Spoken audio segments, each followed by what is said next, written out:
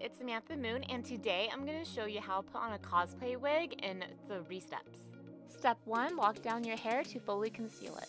For this, you'll want to use a wig cap. There are two styles of wig cap. We have the fishnet wig cap, and then we have the mesh nylon wig cap.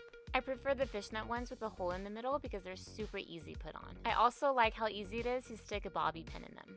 The nylon wig cap can get hot easily, which isn't good for anime convention, and it can slip off your head easily.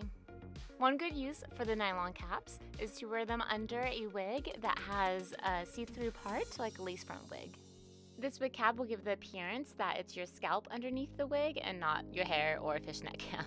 They come in a variety of shades, so you can get a shade that matches your scalp. Most cosplay wigs don't have a see-through part. They have a lot of hair clumped up in the middle or have a patch underneath covering it up, so you don't have to worry about this. My Ibuki wig has a wider part, but again, it has that patch underneath covering it up. Now to put on a wig cap. To put on a wig cap that only has one opening, easy way to put it on is to just twist your hair like this, put it on top of your head, and pin it down with a bobby pin. And if you have bangs like me, you can use a bobby pin to pin them down, one on each side. You stretch the wig cap open and pull it over the clump of hair you put on your head. Pull it down to your hairline and then place all the hair inside of it. And that's a super easy way to put this style on. To put on a wig cap has two openings, has like a hole in the middle. You put your whole head through it and have it around your neck.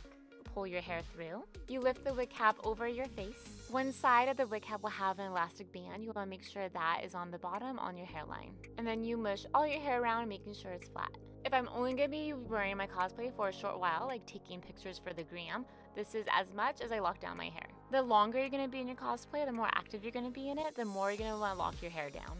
There's a couple things you can do to secure your hair more underneath the wig cap. A simple way is to simply put your hair in a low ponytail and then just put on the wig cap as normal. A little bit more secure is to braid your hair in a single braid. I'm really bad at braiding, so to make it easier for me, I braid my hair in a side bang so I can see what I'm doing as I'm braiding. Bring that braid over on top of your head and pin it down. And for even more security, you can braid your hair in pigtails. Separating the hair into two braids is also good if you have really thick hair. I have incredibly fine baby hair, so one braid is good enough for me, but if you have thicker hair, you might want to do two braids. Now that you have your braided pigtails, cross them over in the back and pin them on top of your head. This method is really good for anime conventions. Your hair will hold underneath your wig throughout the day. And my last method for securing your hair under the wig cap so it doesn't peek out, this is the most secure, is to French braid. I cannot French braid at all, so yeah, not even gonna try. Locking down your hair underneath a wig cap will also ensure that the wig lays flat on your head. So one technique you definitely don't want to use to lock down your hair is to gather in a high ponytail on top of your head or wrap it into a beehive like what I'm doing right here. Because what this does is you'll have a big bump on top of your head and when you put your wig on, this bump will show through. So want to make sure it's flat.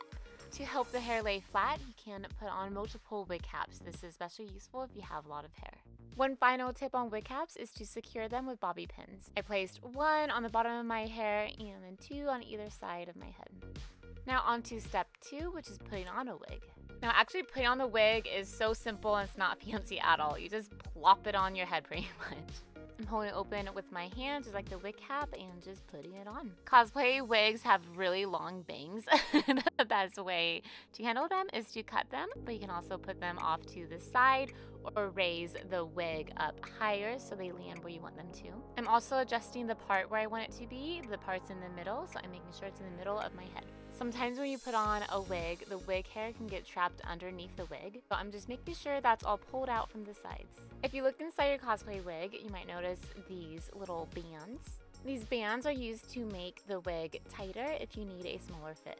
You take the band and slip the hook on the end through one of the loops on the bottom. If you need a really tight fit, you can crisscross the bands.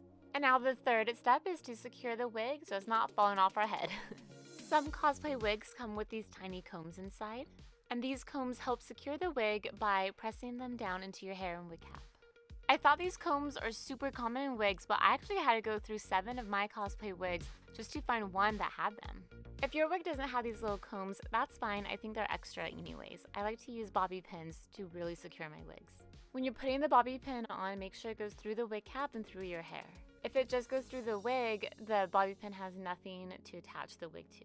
You also want to spread the hair part as you're putting the bobby pin in, and then cover it with hair on top to make sure it's totally concealed. When I'm going to anime conventions, I make sure to use a lot of bobby pins and even to bring some extra along with me. And just like that, we're done. Those are my tips and steps for putting on a cosplay wig.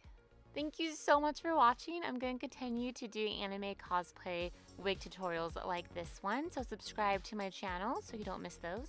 And here are some other anime cosplay tutorials you might enjoy, so check those out. And alright, I'll see you next time. Bye!